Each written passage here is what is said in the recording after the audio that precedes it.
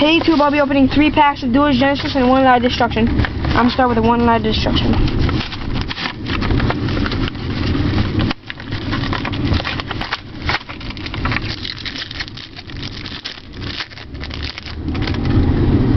Disc Blade Rider rare.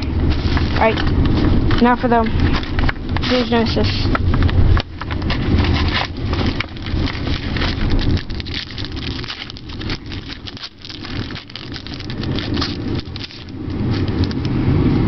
Nitro Warrior Ultra Rare. Nice pull. Nice. Too bad it's out in a tin, but still good. Alright. Second pack of Duelist Genesis.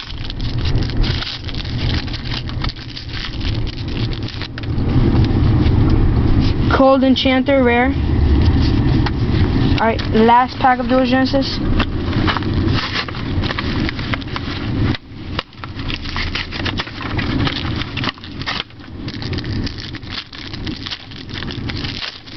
Oh, my bad.